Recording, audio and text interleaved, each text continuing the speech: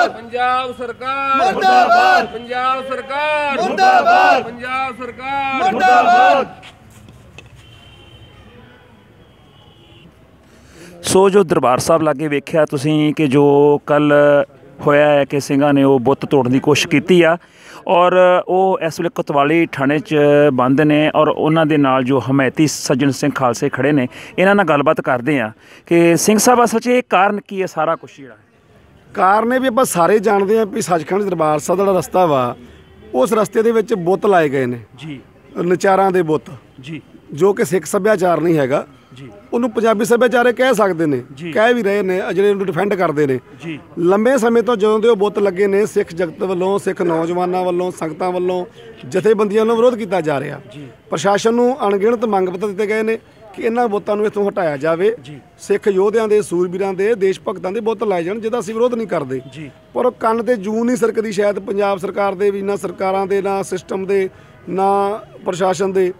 ਹੁਣ ਲਾਸਟ ਸਮਾਂ ਲੰਘਿਆ ਸੀਗਾ ਸਿੱਖ ਜਥੇਬੰਦੀਆਂ ਵੱਲੋਂ ਕਾਲ ਦਿੱਤੀ ਗਈ ਸੀਗੀ ਇਹਦਾ ਵਿਰੋਧ ਕੀਤਾ ਗਿਆ ਸੀ। ਇਹ ਕਿਹਾ ਗਿਆ ਸੀ ਵੀ ਇੱਥੋਂ ਬੁੱਤਾਂ ਦੇ ਵਾਸਤੇ ਸਾਨੂੰ ਦੱਸ- ਦਸਤੇ ਦਾ ਹੱਲ ਕੀਤਾ ਜਾਵੇ। ਪਰ ਉਹੀ ਗੱਲ ਹੋਈ ਮੰਗ ਪੱਤਰ ਦਿੱਤੇ ਗਏ ਮੀਟਿੰਗਾਂ ਹੋਈਆਂ ਗੋਂਗਲੋਂ ਤੋਂ ਮਿੱਟੀ ਝੜ ਗਈ। ਅੱਜ ਜਿਹੜਾ ਹੋਇਆ ਜਿਹੜਾ ਰਾਤ ਨੌਜਵਾਨਾਂ ਵੱਲੋਂ ਉੱਥੇ ਐਕਸ਼ਨ ਦਾ ਰਿਐਕਸ਼ਨ ਹੋਇਆ ਵੀ ਜਦੋਂ ਅੱਕ ਕੇ ਫਿਰ ਉਹ ਚੂੰਕਾਰ ਅਜਮਾ ਹਿਲਤੇ ਵਾਲਾ ਹਾਲ ਹੋ ਜਾਂਦਾ ਨਾ ਵੀ ਉਹ ਹੋਇਆ ਤਾਂ ਸਿੰਘਾਂ ਰਾਤ ਬੁੱਤ ਤੋੜਨ ਦੀ ਕੋਸ਼ਿਸ਼ ਕੀਤੀ ਤੇ ਉਹ ਸਿੰਘਾਂ ਨੂੰ ਉੱਥੇ ਰਾਤ ਅਰੈਸਟ ਕਰ ਲਿਆ ਗਿਆ। ਜੀ। ਅਸੀਂ ਇਹ ਗੱਲ ਇਕੱਠੇ ਹੋਏ ਜਥੇਬੰਦੀਆਂ ਜਿਹੜੀਆਂ ਜਿੱਥੇ ਇਕੱਠੀਆਂ ਹੋਈਆਂ ਨੇ ਸਿੱਖ ਇਕੱਠੇ ਹੋਏ ਨੇ। ਅਸੀਂ ਇਸ ਲਈ ਇਕੱਠੇ ਹੋਏ ਹਾਂ ਵੀ ਜੇ ਸਿੱਖਾਂ ਨੇ ਨੌਜਵਾਨਾਂ ਨੇ ਆਪਣੇ ਹੱਥ 'ਚ ਲਿਆ ਕਾਨੂੰਨ ਜੀ। ਸਰਕਾਰੀ ਪ੍ਰਾਪਰਟੀ ਨੂੰ ਨੁਕਸਾਨ ਪਹੁੰਚਾਇਆ ਉਹ ਕਾਰਵਾਈ ਬਣਦੀ ਕੀਤੀ ਜਾਂਦੀ। ਪਰ ਜਿਹੜੀਆਂ ਧਰਾਵਾਂ ਨਜਾਇਜ਼ ਲਾਈਆਂ ਗਈਆਂ ਨੇ 307 ਲਾ ਦਿੱਤੀ ਗਈ ਹੈ ਬੱਚਿਆਂ ਦੇ ਉੱਤੇ। ਇਸ ਤਰ੍ਹਾਂ ਦੇ ਟ੍ਰੀਟ ਸਾਨੂੰ ਟ੍ਰੀਟ ਇਸ ਤਰ੍ਹਾਂ ਕਰ ਰਹੇ ਆ ਪਤਾ ਨਹੀਂ ਸੀ ਕਿੱਡੇ ਤਕੜੇ ਮੁਜਰਮ ਸਾਡੇ ਫੜੇ ਹੋਏ ਨੇ। ਮੀਡੀਆ ਵੱਲੋਂ ਐ ਪੇਸ਼ ਕੀਤਾ ਜਾ ਰਿਹਾ। ਤੁਸੀਂ ਬੱਚਿਆਂ ਨੂੰ ਮਿਲ ਕੇ ਆਏ ਜੇ? ਬਿਲਕੁਲ ਨਹੀਂ ਸਵੇਰ ਦੇ ਸਾਡਾ ਇਹ ਸਿੰਘ ਪ੍ਰਸ਼ਾਦਾ ਲੈ ਕੇ ਆਇਆ ਸੀਗਾ। ਉਹਨਾਂ ਨੂੰ ਪ੍ਰਸ਼ਾਦਾ ਤੱਕ ਨਹੀਂ ਛਕਾਉਣ ਦਿੱਤਾ ਗਿਆ। ਤੁਸੀਂ ਲੈ ਤੁਸੀਂ ਗਏ ਸੀ? ਵਾਹਿ ਖਾਲਸਾ ਵਾਹਿਗੁਰੂ ਜੀ ਕੀ ਫਤਿਹ ਜੀ। ਜੀ। ਹਾਂਜੀ ਮੈਂ ਸਵੇਰੇ ਪ੍ਰਸ਼ਾਦਾ ਤੇ ਸਿੰਘਾਂ ਵਾਸਤੇ ਲੈ ਕੇ ਆਇਆ ਸੀਗਾ। ਤੇ ਮੇਰੀ ਜਿਹੜੇ ਇੱਥੇ ਡੀਐਸਪੀ ਹੈ ਸੁਖਜਿੰਦਰ ਸਿੰਘ ਭੱਲਾ ਜੀ। ਮੈਂ ਉਹਨਾਂ ਨੂੰ ਬੇਨਤੀ ਕੀਤੀ ਜੀ ਸਰ ਇਹਨਾਂ ਨੂੰ ਸਿੰਘਾਂ ਨੂੰ ਪ੍ਰਸ਼ਾਦਾ ਲੈ ਕੇ ਆਇਆ ਉਹਦਾ ਪਹਿਲਾ ਲਫ਼ਜ਼ ਸੀਗਾ ਵੀ ਕੁਝ ਨਹੀਂ ਦੇਣਾ ਇਹਨਾਂ ਨੂੰ ਕੁਝ ਨਹੀਂ ਇਹਨਾਂ ਨੂੰ ਦੇਣਾ ਕੁਝ ਨਹੀਂ ਅੰਦਰ ਜਾਣ ਦੇਣਾ ਜੀ। ਮੈਂ ਫਿਰ ਉਹਨਾਂ ਨੂੰ ਕਿਹਾ ਜੀ ਜੋ ਵੀ ਤੁਹਾਡੀ ਬੰਦੀ ਕਾਰਵਾਈ ਹੈ ਤੁਸੀਂ ਕਰੋ ਜੀ ਜਿਹੜੀ ਬੰਦੀ ਕਾਰਵਾਈ ਉਹ ਕਰੋ ਪਰ ਪ੍ਰਸ਼ਾਦਾ ਤੇ ਉਹਨਾਂ ਨੂੰ ਛਕ ਲੈਣ ਦਿਓ। ਇਹ ਤੇ ਕੋਈ ਪਾਕਿਸਤਾਨ ਤੋਂ ਵੀ ਆਇਆ ਬੰਦਾ ਹੋਵੇ ਕੋਈ ਉਹ ਜੁਰਮ ਕਰ ਦਿੰਦਾ ਤੇ ਪ੍ਰਸ਼ਾਦਾ ਤੇ ਉਹਦਾ ਵੀ ਛਕਣਾ ਹੱਕ ਆ ਤੇ ਅਸੀਂ ਤੇ ਵੈਸੇ ਹੀ ਮਤਲਬ ਸਾਡੀ ਤੇ ਕੌਮ ਲੰਗਰ ਲਾਉਂਦੀ ਆ ਤੇ ਛਬੀਲਾਂ ਲਾਉਂਦੀ ਆ ਸਾਡੀ ਕੌਮ। ਜੀ ਜੀ। ਤੇ ਇਹ ਦੇ ਚੱਕਰ ਬਿਲਕੁਲ ਗਲਤ ਆ ਫਿਰ ਸਾਫ਼ ਉਹਦਾ ਕਹਿਣਾ ਸੀਗਾ ਜੀ ਆਪਾਂ ਕੁਝ ਨਹੀਂ ਅੰਦਰ ਜਾਣ ਦੇਣਾ। ਜੀ। ਫਿਰ ਉਸ ਤੋਂ ਬਾਅਦ ਜਿਹੜੇ ਐਸਪੀ ਸਾਹਿਬ ਆਏ ਉਹਨਾਂ ਨੂੰ ਵੀ ਬੇਨਤੀ ਕੀਤੀ ਗਈ। ਤੇ ਉਹ ਬਿਲਕੁਲ ਨਹੀਂ ਉਹ ਕਹਿੰਦੇ ਜੀ ਇਹ ਕੁਝ ਨਹੀਂ ਅੰਦਰ ਜਾਣ ਦੇਣਾ। ਇੱਥੇ ਹੁਣੇ ਕੁਛ ਚਿਰ ਪਹਿਲਾਂ ਜ਼ਿੰਮੇਵਾਰ ਅਫਸਰ ਸੀ ਉਹਨਾਂ ਦੀ ਮੈਂ ਗੱਲ ਸੁਣੀ ਸੀ ਉਹਨਾਂ ਨੇ ਕਿਹਾ ਕਿ ਧਰਾਵਾਂ ਵੀ ਜਿਹੜੀਆਂ ਲੱਗੀਆਂ ਉਹ ਹੱਥ ਪਏ ਆ ਮੁੰਡੇ ਪੁਲਿਸ ਨੇ ਹੱਥੋਂ ਪਾਈ। ਕੋਈ ਇਹੋ ਜੀ ਗੱਲ ਹੋਈ ਹੈ ਕੋਈ? ਕੋਈ ਸਬੂਤ ਪੇਸ਼ ਕਰਨ ਇਸ ਚੀਜ਼ ਦਾ? ਸਿੰਘ ਦੇ ਉੱਥੇ ਖੜੇ ਰਹੇ ਬਿਲਕੁਲ। ਮੈਂ ਬਾਅਦ ਚੋਂ ਵੀ ਜਾ ਕੇ ਉੱਥੇ ਪੁੱਛਗਿੱਛ ਕਰਕੇ ਆਇਆ ਫਿਰ ਉੱਥੇ ਚੱਪੇ ਚੱਪੇ ਤੇ ਕੈਮਰੇ ਲੱਗੇ ਨੇ। ਕੈਮਰੇ ਲੱਗੇ ਨੇ ਤਾਂ ਸਬੂਤ ਪੇਸ਼ ਕਰੋ। ਕਿਉਂਕਿ ਜਦੋਂ ਪੁਲਿਸ ਆਪਣੀ ਕਾਰਵਾਈ ਕਰਦੀ ਉਦੋਂ ਇਹਨਾਂ ਕੋਲ ਸਬੂਤ ਨਹੀਂ ਹੁੰਦਾ। ਜਦੋਂ ਤੁਹਾਨੂੰ ਜਦੋਂ ਕਹਿ ਦਿੱਤਾ ਗਿਆ ਥੋੜੇ ਦਿਨ ਪਹਿਲਾਂ ਵੀ ਇਹਨਾਂ ਨੂੰ ਬੁੱਤਾਂ ਨੂੰ ਹਟਾ ਲਓ। ਜੀ। ਇਹ ਵਾਰਨਿੰਗ ਸੀਗੀ ਇਹਨਾਂ ਨੂੰ। ਇਹਨਾਂ ਦੇ ਕੰਨ ਦੇ ਉੱਤੇ ਜੂਨ ਹੀ ਸਰਕੀ ਕਿਤੇ ਖਾਲਸਾ ਖਤਮ ਹੋ ਗਿਆ। ਖਾਲਸੇ ਨੇ ਚੜ੍ਹਦੀ ਕਲਾ ਵਾਲਾ ਕੰਮ ਕਰਕੇ ਬਹੁਤ ਵਧੀਆ ਕੰਮ ਕੀਤਾ। ਪੁਲਿਸ ਨੂੰ ਤੇ ਪ੍ਰਸ਼ਾਸਨ ਨੂੰ ਸੰਦੇਸ਼ ਦੇ ਦਿੱਤਾ ਵਾ ਵੀ ਖਾਲਸਾ ਅਜੇ ਜਿਉਂਦਾ ਆ। ਜੀ। 307 ਜਿਹੜੀ ਉਹਨਾਂ ਧਾਰਾ ਕਹੀ ਹੈ 307 ਧਾਰਾ 'ਚ ਇੱਕ ਇਰਾਦਾ ਕਤਲ ਹੀ ਜਾਂਦਾ ਆ। ਇਸ ਤੱਕ ਨੌਬਤ ਆਈ ਹੈ ਜਾਂ ਇਹ ਨਹੀਂ ਜੀ ਵੇਖੋ ਤੁਸੀਂ ਵੀਡੀਓ ਨੈਟ ਤੇ ਪਈ ਹੋਈ ਆ ਸਾਰੇ ਚੈਨਲਾਂ ਤੇ ਚੱਲ ਰਹੀ ਆ ਮੀਡੀਆ ਸੋਸ਼ਲ ਮੀਡੀਆ ਚੱਲ ਰਹੀ ਆ। ਉਹ ਬੱਚੇ ਢਾ ਰਹੇ ਨੇ ਸਿੰਘ ਢਾ ਰਹੇ ਨੇ ਤੇ ਪ੍ਰਸ਼ਾਸਨ ਆਇਆ। ਪ੍ਰਸ਼ਾਸਨ ਨੂੰ ਰੋਕਿਆ ਗਿਆ ਸਿੰਘ ਰੁਕ ਨੇ। ਪ੍ਰਸ਼ਾਸਨ ਨੇ ਕਿਹਾ ਸਾਡੇ ਨਾਲ ਚਲੋ ਕਤਵਾਲੀ ਤੁਹਾਨੂੰ ਲੈ ਕੇ ਜਾਣਾ। ਸਿੰਘ ਕਤਵਾਲੀ ਵਾਸਤੇ ਤੁਰ ਪਏ ਨੇ। ਉਹ ਸਾਰੀ ਵੀਡੀਓ ਨੈਟ ਤੇ ਪਈ ਆ। ਜਦ ਕੋਈ ਇਹੋ ਜਿਹਾ ਕੁਝ ਹੋਇਆ ਨਹੀਂ ਜੇ। ਹੋਇਆ ਹੁੰਦਾ ਤਾਂ ਫਿਰ ਉਸ ਵੀਡੀਓ ਵਿੱਚ ਉਹ ਵੀ ਆਉਂਦਾ। ਸੋ ਕਿਤੇ ਨਾ ਕਿਤੇ ਜਿਹੜੇ ਉਹ ਹਾਲਾਤ ਨੇ ਉਹ ਬਣਾਏ ਜਾ ਰਹੇ ਨੇ ਹੁਣ ਹਰਾਸ਼ ਕਰਨ ਵਾਸਤੇ। ਜੀ। ਜੀ।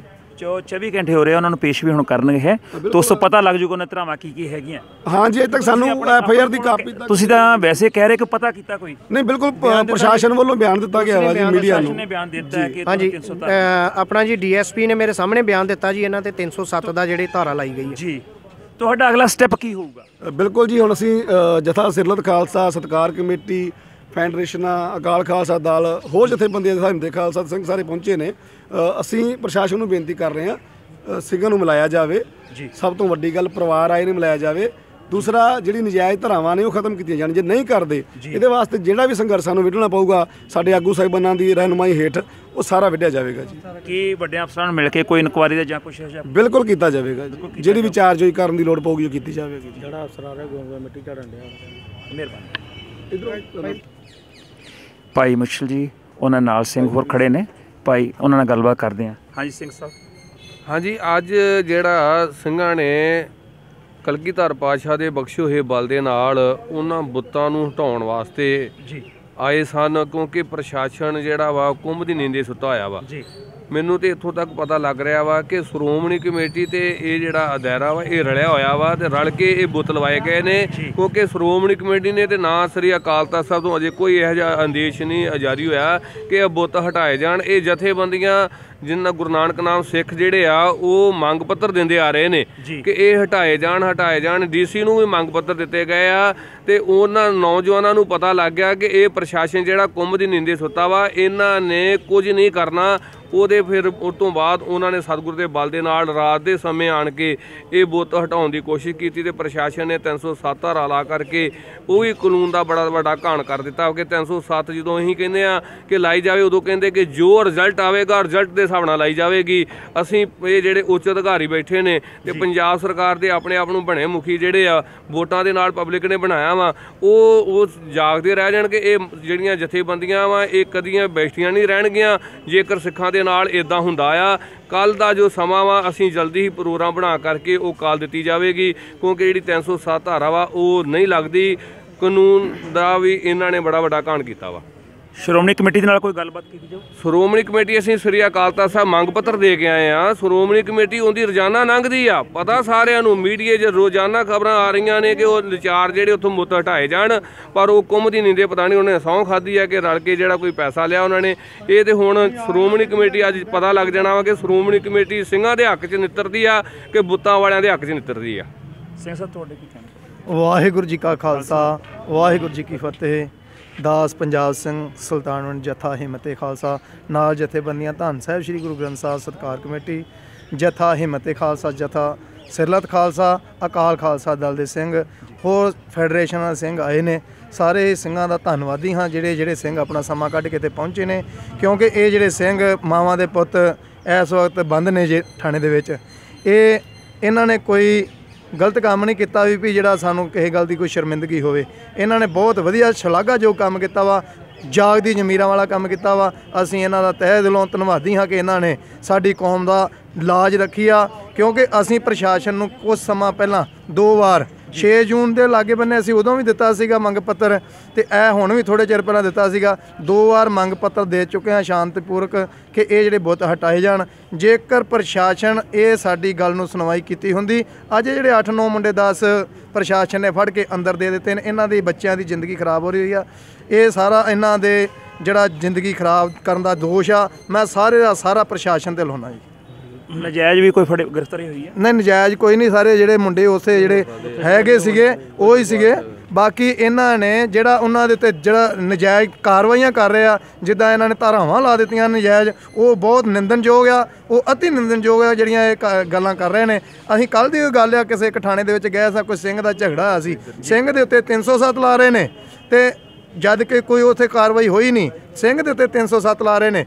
ਤੇ ਅੱਜ ਆ ਜਿਹੜੀ ਕਾਰਵਾਈ ਹੋਈ ਆ, ਇਹਨਾਂ ਦੇ ਉੱਤੇ ਵੀ 307 ਲਾਈ ਜਾ ਰਹੀ ਆ।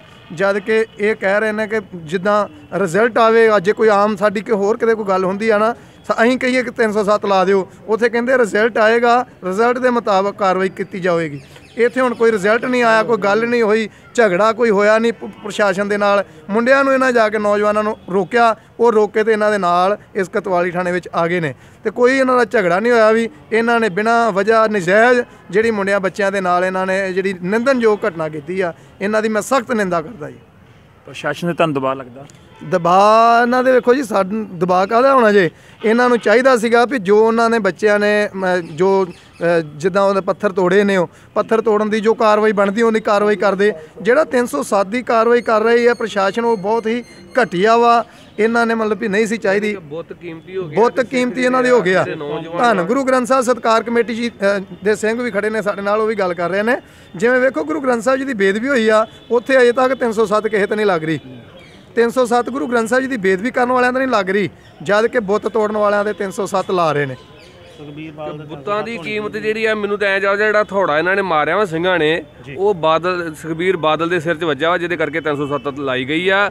ਇਹ ਜਿਹੜੀ ਧਾਰਾ ਵਾ ਬਿਲਕੁਲ ਹੀ ਨਿੰਦਨਯੋਗ ਲਾਈ ਗਈ ਆ ਕਿਉਂਕਿ ਜਦੋਂ ਅਸੀਂ ਵੀ ਇੱਥੇ ਬੀੜੀ ਸਿਗਰਟ ਤੰਬਾਕੂ ਰੋਕਣ ਵਾਸਤੇ ਸਿੰਘ ਆਏ ਸਨ ਗੁਰੂ ਰਾਮਦਾਸ ਦੇ ਪ੍ਰਕਾਸ਼ ਦਿਹਾੜੇ ਸੰਬੰਧ ਵਿੱਚ ਉਦੋਂ ਵੀ ਸਾਡੇ ਦੇ 307 ਰਾਤੋਂ ਰਾਤ ਭਈਆਂ ਦੇ ਕਹਿਣ ਤੇ ਲਾ ਦਿੱਤੀ ਗਈ ਸੀ। ਭਈਆਂ ਦੇ ਬਹੁਤੇ ਖੋਖੇ ਆ ਇੱਧਰ ਬੀੜੀ ਸਿਗਰਟ ਵੇਚਣ ਵਾਲੇ। ਕਿ ਸ਼੍ਰੋਮਣੀ ਕਮੇਟੀ ਜਿਹੜੀ ਸੰਸਥਾ ਜਿਹੜੇ ਉੱਥੇ ਪ੍ਰਧਾਨ ਜਾਂ ਸ੍ਰੀ ਅਕਾਲ ਤਖਤ ਹੁਕਮਨਾਮੇ ਜਾਰੀ ਹੁੰਦੇ ਆ, ਅਜੇ ਤੱਕ ਉਹਨਾਂ ਵੱਲੋਂ ਕੋਈ ਬਿਆਨ ਨਹੀਂ ਐਸਾ ਦਿੱਤਾ ਗਿਆ ਕਿ ਇੱਥੇ ਬੀੜੀ ਸਿਗਰਟ ਤੰਬਾਕੂ ਜਾਂ ਨਾਈਆਂ ਦੀ ਦੁਕਾਨਾਂ ਬਿਲਕੁਲ ਲਾਗੇ ਲਾਗੇ ਜੋ ਹਰਮੰਦਰ ਸਾਹਿਬ ਮਹਾਰਾਜ ਨੇ ਵਸਾਇਆ ਵਾ, ਉਹਦੇ ਦਰਵਾਜ਼ੇ ਬਣੇ ਹੋਏ ਆ। ਉਹ ਸਾਰਾ ਦੇਖ ਅਜੇ ਤੱਕ ਉਦਾਂ ਹੀ ਆ, ਜਿਹੜੇ ਦਰਬਾਰ ਸਾਹਿਬ, ਹਰਮੰਦਰ ਸਾਹਿਬ ਮਹਾਰਾਜ ਜੀ ਪਾਤਸ਼ਾਹ ਜੀ ਨੇ ਇਸ ਨਗਰੀ ਨੂੰ ਪਵਿੱਤਰ ਸ਼ਹਿਰ ਦਾ ਦਰਜਾ ਦਿੱਤਾ ਗਿਆ।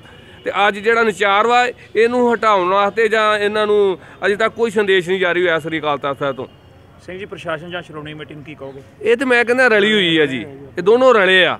ਇਹ ਇੱਕੋ ਹੀ ਆ ਚੀਜ਼ ਜੇ ਸ਼੍ਰੋਮਣੀ ਕਮੇਟੀ ਦੀ ਜ਼ਮੀਰ ਜਾਗਦੀ ਹੁੰਦੀ ਹੈ ਜੁਰਤੀ ਕਿਤੇ ਬੋਤਲ ਆ ਜਾਂਦੇ ਉੱਤੇ ਤੇ ਜੇ ਸ੍ਰੀ ਅਕਾਲ ਤਖਤ ਜਥੇਦਾਰਾਂ ਦੀ ਜ਼ਮੀਰ ਜਾਗਦੀ ਹੁੰਦੀ ਤੇ ਉੱਥੇ ਕਿਤੇ ਬੁੱਤ ਲੱਗ ਸਕਦੇ ਸੀ? ਆ ਸਿੰਘਾਂ ਦੀ ਜਿਨ੍ਹਾਂ ਦੀ ਜ਼ਮੀਰ ਜਾਗੀ ਉਹਨਾਂ ਨੇ ਆਣ ਕੇ ਥੋੜਾ ਲੈ ਕੇ ਢਾਉਣ ਦੀ ਕੋਸ਼ਿਸ਼ ਕੀਤੀ ਆ ਤੇ ਗੁਰੂ ਕਿਰਪਾ ਕਰੇ ਇਹ ਬੁੱਤ ਹਟਾ ਕੇ ਸਿੰਘ ਬਹਿਣਗੇ ਗੁਰੂ ਸਾਹਿਬ ਜੀ ਵਾਹਿਗੁਰੂ ਜੀ ਕਾ ਖਾਲਸਾ ਵਾਹਿਗੁਰੂ ਜੀ ਕੀ ਫਤਿਹ। ਵਾਹਿਗੁਰੂ ਜੀ ਕਾ ਖਾਲਸਾ, ਵਾਹਿਗੁਰੂ ਜੀ ਕੀ ਫਤਿਹ। ਮੈਂ ਖਾਸ ਕਰਕੇ ਸ਼੍ਰੋਮਣੀ ਕਮੇਟੀ ਦੇ ਪ੍ਰਧਾਨ ਨੂੰ ਅਤੇ ਅਕਾਲ ਖਾਲ ਅਕਾਲ ਤਖਤ ਦਾ ਜੋ ਜਥੇਦਾਰ ਹੈ, ਹਰਪ੍ਰੀਤ ਸਿੰਘ, ਉਹਨਾਂ ਨੂੰ ਬੇਨਤੀ ਕਰਦਾ ਚਾਹੁੰਦਾ ਕਿ ਤੁਸੀਂ ਗੁਰਮਤ ਅਨੁਸਾਰ ਸੋਚ ਕੇ ਦੇਖੋ ਕਿ ਗੁਰੂ ਘਰ ਜਿਹੜੀ ਸੰਗਤ ਆਂਦੀ ਹੈ, ਉਹਨੂੰ ਤੁਸੀਂ ਗੁਰਮਤ ਦਾ ਗਿਆਨ ਦੇਣਾ ਹੈ ਕਿ ਪੰਜਾਬੀ ਸੱਭਿਆਚਾਰ ਵਾਲਾ ਗਿਆਨ ਦੇਣਾ ਹੈ।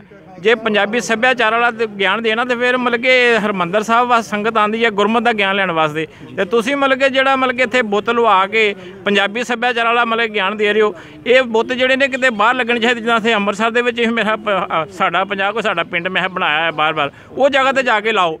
ਇੱਥੇ ਤੁਸੀਂ ਕੇਵਲ ਤੇ ਕੇਵਲ ਮਤਲਬ ਕਿ ਜਿਹੜੇ ਧਾਰਮਿਕ ਸਾਡੇ ਗੁਰਮਤ ਅਨੁਸਾਰ ਜਿਹੜੇ ਮਤਲਬ ਕਿ ਬੁੱਤ ਨੇ ਸਾਡੇ ਸ਼ਹੀਦਾਂ ਦੇ, ਉਹ ਲਾਣੇ ਚਾਹੀਦੇ ਨੇ।